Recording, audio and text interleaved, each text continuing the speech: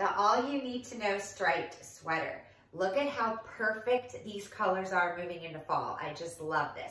This is a neutral palette. It's a stripe, which we all know and love, and it's a light waffle knit. So look at all those beautiful colors. This is a 100% viscose fabric, which means it has some give to it, but it doesn't have a lot of stretch. But this fabric is such a high-end fabric that you are going to fall in love with this. Now, I love the flattering v-neck right here. So nice. These are functioning buttons.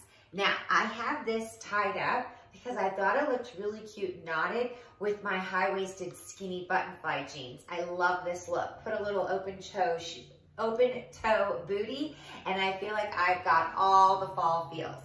But you definitely can play around with this top. Now, you can unbutton it, and because the buttons are functioning, you could actually leave this out and button it all the way down, which is another really cute look.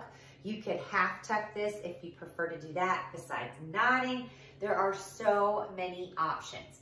So I'm wearing a small, which is my true to size.